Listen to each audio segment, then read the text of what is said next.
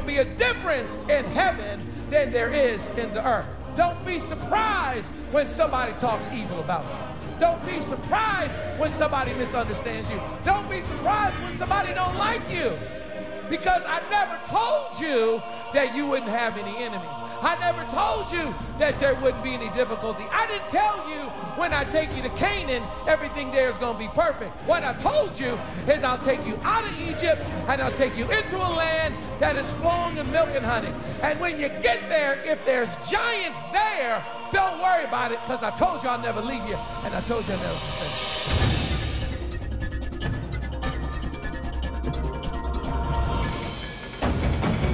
Ever wonder how does the word apply to your life? Can it change you? Yes, it can.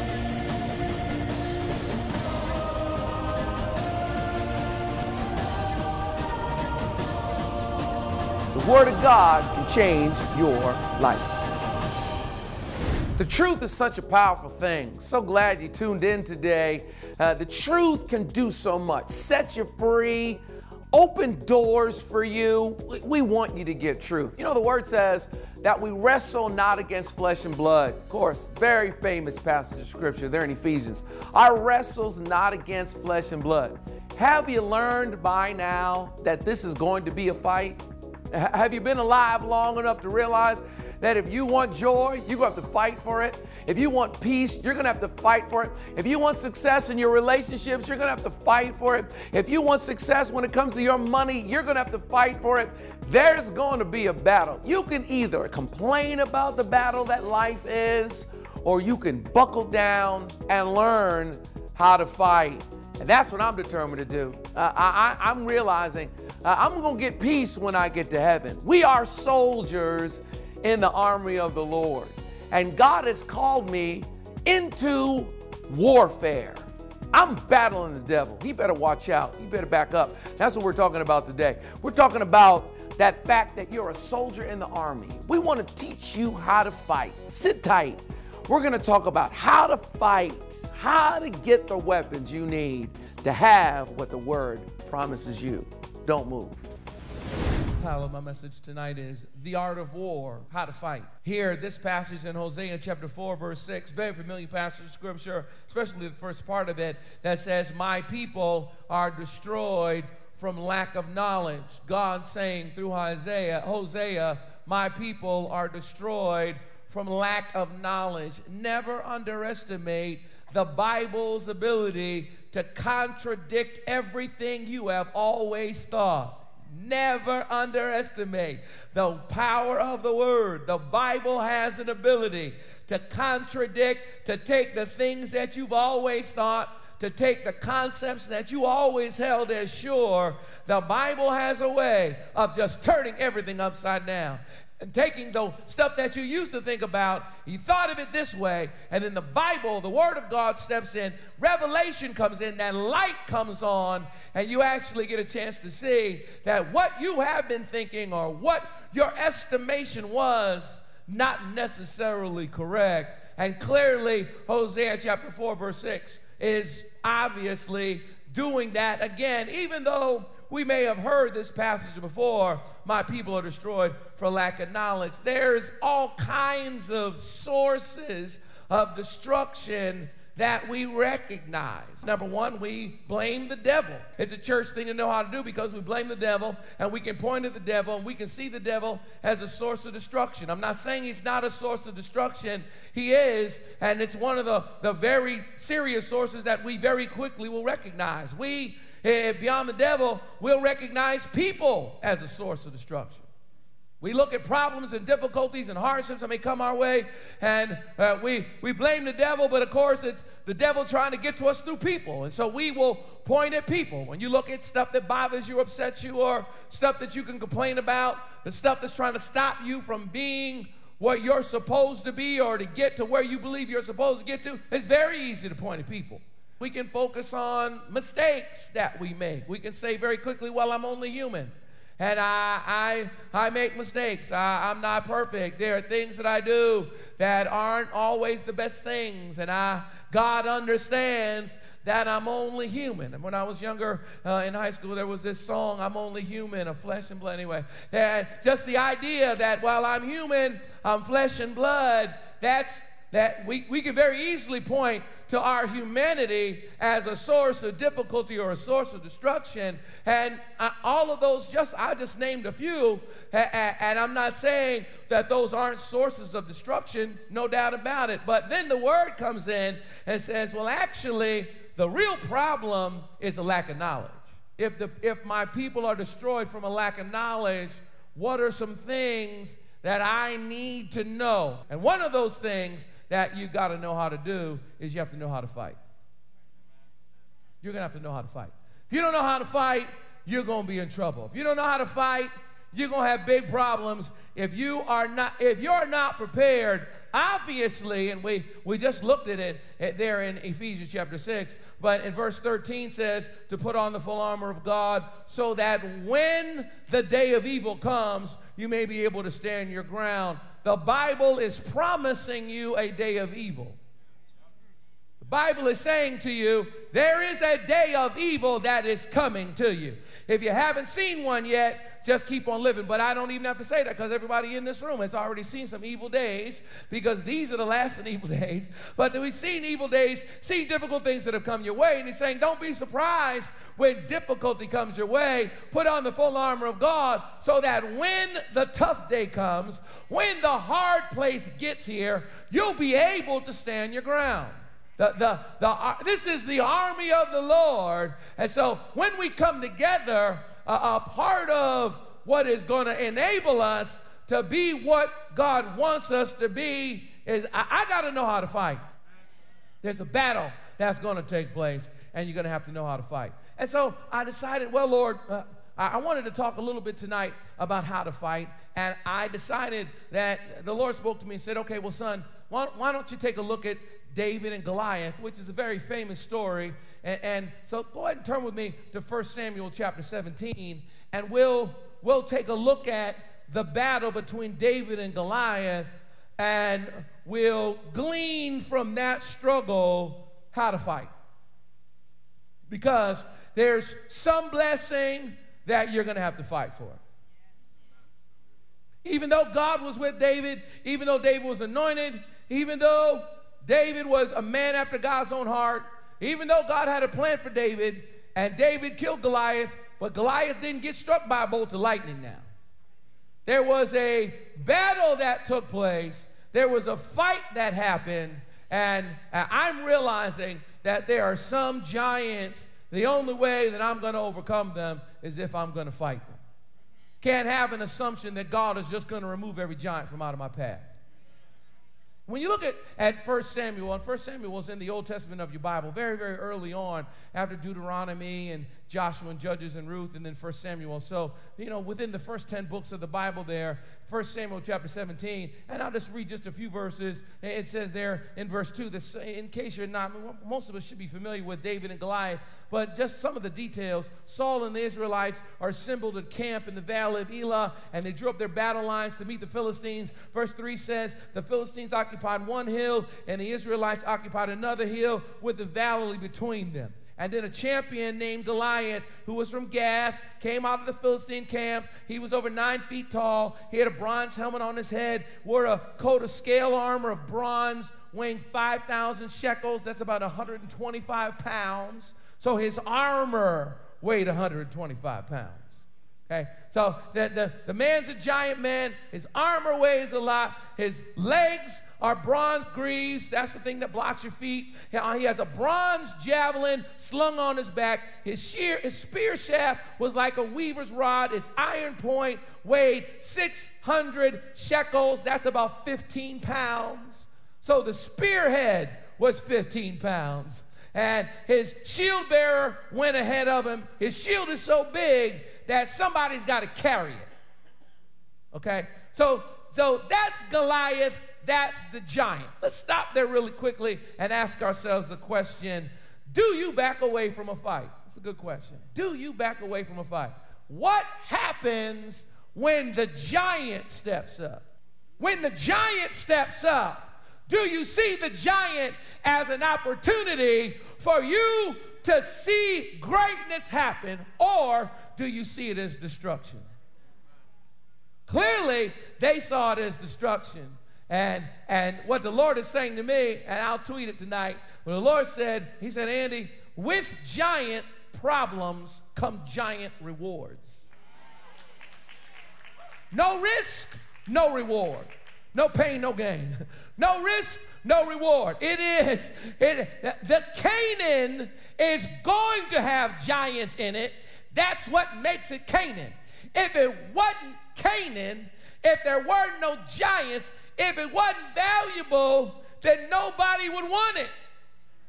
The fact that it's valuable is the thing that makes somebody else be there. The fact that it's a great job is the thing that makes other folks, besides just you, apply for it. That's what makes it great. So you can't ask for greatness without giants being there. David comes down and sees the giant as an opportunity to experience victory. Let me just break it down for you really, really quickly. Cuz I'm really quickly running out of time. Just enjoying the, the, the, the message, just the, the scripture itself. But if we drop down to verse 23, we really do see the, the battle between David and Goliath. And I just want to point a few things out to you just for you to understand how to fight. We really can see it from this battle between David and Goliath. In verse 23, it says, He's talking with his brothers, and Goliath steps out and shouts his usual, usual defiance, and David hears him. And the Israelites saw the man, and they all ran from him in, great fear. Now, the Israelites had been saying, Do you know how this man keeps coming out? He comes out to defy Israel. The king will give great wealth to the man who kills him. He'll also give him his daughter in marriage and will exempt his father's family from taxes in Israel. So, when it comes to, to how to fight, the first thing, the first step in how to fight is that there's got to be an understanding. There's got to be understanding. You see that from verse 23 right through to verse 27. They repeated to him, told him what, what's going to be done. David asks, What's going to be done for the man who kills this Philistine, removes this disgrace from Israel? Who is this uncircumcised Philistine that he should defy the armies of the living God? And they repeated to him what had they been saying and told him, This is what will be done for the man who kills him. And so, number one, if I'm going to fight, there's going to have to be an understanding. Number one, I'm going to have to see the challenge. I have to be realistic. I have to know what I'm up against. I, I, you're, you're, it's not going to be just close your eyes and just pray and don't even look at the problem. You, you'll have to look at the giant problem. You have to be realistic about it. Well, I, am I'm, I'm facing a realistic, no joke, difficult situation. It's a serious challenge, and I understand that it's a challenge. I'm not in ignorance. I understand that it's giant. I understand that it's big. I understand that it's hard. David had an understanding. He heard, he had an understanding. But then, of course, the other thing that he understood, and I, I mentioned it already, but he understood risk versus reward. He wanted to know what the reward would be. Okay? That's the first part of it. Then the second part of it that's really connected to it is, and, and when, it, when we're talking about how to fight, is you got to hear right. You have to hear right. And so David clearly hears right. He hears the challenge. So he hears Goliath talking. He hears the blessing. He hears what's going to happen as a result of him fighting the giant. He also hears the negative. Because in verse 28, his brother steps up and just kind of starts fussing at him, saying, You know, eh, eh, his oldest brother heard him speaking with the other man, and he gets mad at him and says, Man, what are you doing? What you talking? Where, where, who you lead them few sheep with? Man, you, you just, I, you, I know you're conceited. I know you're prideful. I know, I know that you, you're not right. That, that I know how conceited you are and how wicked your heart is. You came down just to watch somebody get killed. He goes to meet with Saul, and Saul says to him, Man, you can't, because somebody runs and tells Saul, Man, there's a dude out here talking stuff about Goliath, man. And, and Saul sends for him, and Saul says, Man, yeah, I, I, David says to Saul, Yeah, I got this. I, I, I'll take him. I got him. And Saul says to him, Man, he's been fighting since he was young and you're just a boy. So, no, this is not going to happen. You're not going to be able to do it. So, that ability to hear the negative is, is, is actually a part of the ingredient in how to fight. And the third thing that you see is just a few more. The third thing that I see that really shows us how to fight is confidence. Confidence. In verse 34, because David, Saul says to him, You're not going to be able to go out against this Philistine and fight him. You're only a boy. He's been a fighting man from his youth. And David says to Saul, Your servant has been keeping his father's sheep. And when a lion or a bear came and carried off a sheep from the flock, I went after it, struck it, rescued the sheep from its mouth. It turned on me. I seized it by its hair, struck it, and killed it. Your servant has killed the lion and the bear. This uncircumcised Philistine will be like one of them because he has divided the armies of the living God. The same God who delivered me from the paw of the lion and the paw of the bear will deliver me from the hand of this Philistine. So David had confidence. Number one, he had confidence in God. He had confidence in God. He said, No, no, no. The same God that delivered me from that situation is going to eh, deliver me from this situation because his confidence was in God, but also his confidence was in his past experiences. Confidence in his past experiences because lions and bears are pretty scary. Meaning that, that what I'm saying to you, beloved, is that the lion and the bear situations that we have dealt with have prepared us for the giant situation that we're facing. You're not going to just step the straight just fighting giants. You start off by fighting lions and bears. And so, in a sense, it gives you a reason to thank God for your trouble. You can thank Him for the lion and the bear that you dealt with because it was preparing you for your Goliath situation. So, you had confidence. Then the fourth thing that you see, just that we can just take from this from this story, is that uh, uh you got to know uh, uh, what what your weapons are. You got to know your weapons. In verse 38, it says Saul puts David's, uh, he dressed David in his own stuff, his own armor, and his own bronze helmet. And David tried to put his sword over the tunic and walking around, but he was not used to them. I can't go in these, he said. I'm not used to them. He took them off. Then he took his staff in his hand, chose five smooth stones from the stream, put them in the pouch of his shepherd's bag, and with his sling in his hand, approached the Philistine. So you, you got to know your weapons. You can't fight with somebody else's testimony. You can't fight with somebody else's story. You can't fight with somebody else's scripture. You got to know your scripture. You got to know your word. You can't fight with my story. You got to know your story. You can't come, oh, well, Pastor Andy has a story. No, no, no. You got to know your story. You got to know what he's taking you through. Hey, you got to know your weapons. And I love the fact that David picked five stones because he was, what it means is that he was prepared to miss. He was prepared to miss. He didn't go get one stone, he got five stones. He went there prepared for his own imperfection. God is perfect, but you're not perfect. And so eh, you got to be ready for the fight. He went there ready to throw more than one stone at the giant. He didn't go there to throw one stone. He went there to throw five stones. He figured, I'm going to hit this guy with one of these five stones. I'm going to knock him down with one of these five. Put five stones in his pouch. He didn't just pick one. And then the last, the last part of it, and, and i am over time, I'll perfectly let you go. But the last part that I see is, is, is the actual struggle between them. Goliath starts talking noise and saying, Am I a dog? You come to me with sticks. And the Philistine cursed David. Come here, he said, I'll give your flesh to the birds of the air. And verse 45, David said to the Philistine, You come against me with sword and spear and javelin, but I come against you in the name of the Lord Almighty, the God of the armies of Israel, whom you have defied. This day the Lord will hand you you over to me, and I'll strike you down and cut off your head. Today I'll give the carcasses of the Philistines' army to the birds of the air and the beasts of the earth, and the whole world will know that there's a God in Israel. All those gathered here will know that it is not by sword or spear that the Lord saves, for the battle is the Lord's, and he will give all of you into our hands. And as the Philistine moved closer to attack him, David ran quickly toward the battle line to meet him. And reaching into his bag, taking out a stone, he slung it and struck the Philistine on the forehead. And the stone sunk into his forehead and he fell face down on the ground. David triumphed. So the last point is that David talked and attacked. How do you fight? He talked and attacked. You got to talk the right talk. You got to say the right stuff. When the situation speaks to you, you got to speak back to the situation. Death and life is in the power of your mouth. You can't let the situation talk you out of victory. You got to say, oh yeah, oh yeah, you're going to kill me? I'll tell you what, you're not going to kill me. I'm getting ready to kill you. Oh yeah, you're going to overwhelm me. The devil is a liar. You're not going to overwhelm me. I'm about to overwhelm you. Matter of fact, I'm not just going to kill you. I'm going to kill everybody here. You got to know whose battle it really is. It's God's battle. With God on your side, you might as well go ahead and attack. What are you sitting around here playing playing defense for? He didn't play defense. He didn't wait for that for that giant to throw that spear at him. He he got offensive. He talked and he attacked. He was offensive. You got to be offensive. You have to be offensive. There's just too many times in which we just hold on. I heard somebody said, hold on to my salvation. I said, listen, you got to do more than hold on to your salvation you got to get offensive about that salvation. Because if all you're trying to do is hold on to it, you may lose it. You have to be offensive. You have to know how to fight.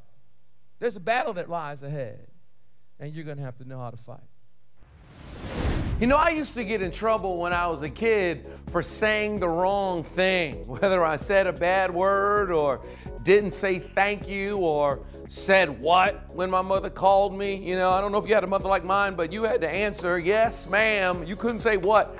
I got in trouble for saying the wrong stuff. A lot of the times, I got in trouble for saying the bad word. One of the things that's interesting about words that we say is that uh, bad words in one family may not be bad words in another family.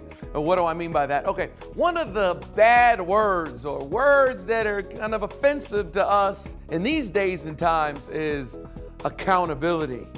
Uh, calm down. I know for some of us, accountability. That's almost a cuss word. It's almost a swear word. Accountability.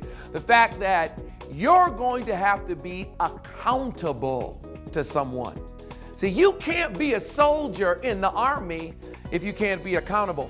There's going to be chaos in the military if there's no accountability. A part of the reason why some of us are losing the battles that we're losing is that we're soldiers in the army but we don't answer to anybody. See, that's a part of what we talked about in this series. We talked about, okay, who do I answer to? Who should I answer to? Who should I be accountable to? You've got to get this serious because without accountability, and I know we live in a time in which people just want to do what they think. They don't want to answer anyone. They certainly don't want to submit. Oh, submission. That's another bad word. They don't want to submit to anyone.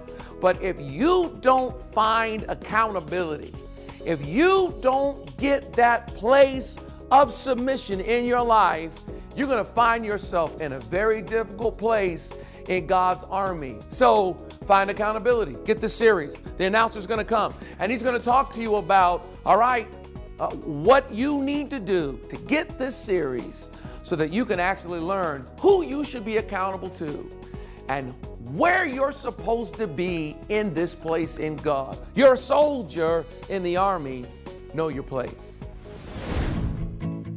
Everyday life brings battles, both expected and unexpected.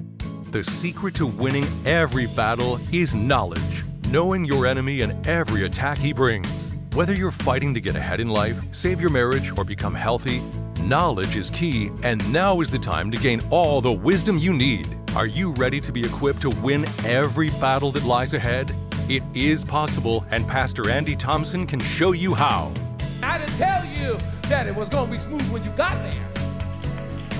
I didn't tell you when you got to the new job that everything was just going to be perfect and wonderful and everybody was going to love you. I didn't tell you that. What I told you is I'll promote you.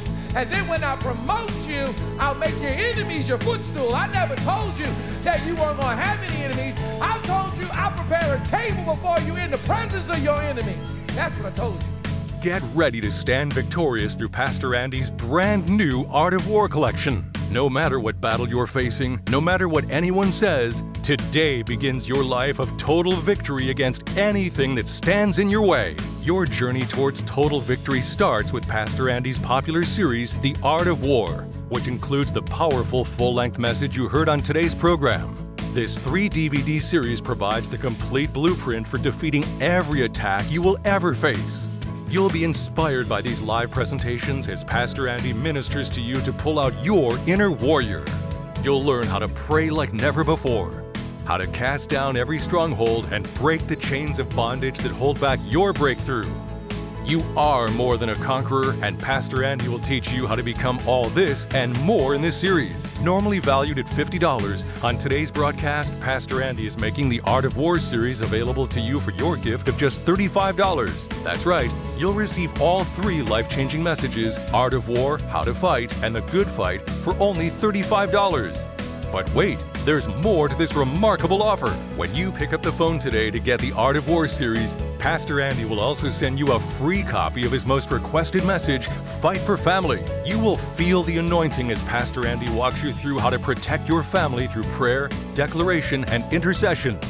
No matter what the world does, you can ensure your family against the devil's attack. And Pastor Andy will show you exactly how to do it on this DVD. So that's Pastor Andy's complete three disc series, The Art of War, and a copy of the single DVD, Fight for Family, for your love gift of only $35. Don't let the enemy hinder you any longer from receiving what God has for your life.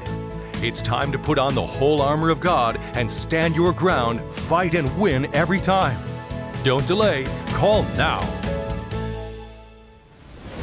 I know accountability can make some of us nervous. And I've been there where uh, authority has been abused, people took advantage of it, and, and, you can get to a point in which you feel like, you know what, I'm, I'm not going to trust again. I can't put myself in that situation again where, where somebody can hurt me. And, and I understand that, but you have to be careful. Don't throw the baby out with the bathwater. Just because someone misused their authority does not mean that the problem is authority. The problem was that person. You've got to find your place in the body. You, maybe a pastor hurt you, maybe a minister hurt you, maybe an elder hurt you, maybe someone in the church hurt you, but you've got to find a good church. Get in a good local church and get to functioning so that you can find your place in God's army so you can be what God is calling for you to be. You need a support system. You need people around you that can pray for you and help you and be there with you. I'm glad you're tuning in, and this is great for us to work together. We are the family of God, but you've got to find that accountability. And I'm telling you, with that answerability, with that accountability, there's a power you'll have, there's a faith you'll have, there's a peace that will come when you're in the right place. I'll see you next week. Join Pastor Andy for these live events.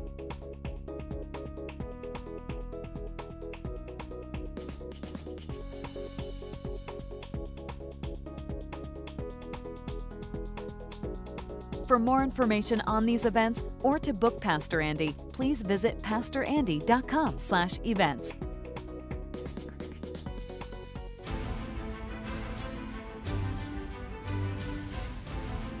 If you are ever in the Raleigh Durham area, come experience Pastor Andy live at World Overcomers Christian Church, located at 2933 South Miami Boulevard in Durham, NC.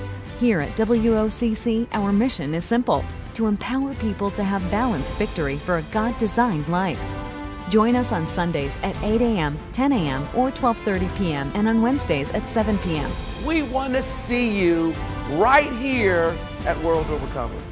For more information, visit online at www.woccrtp.com.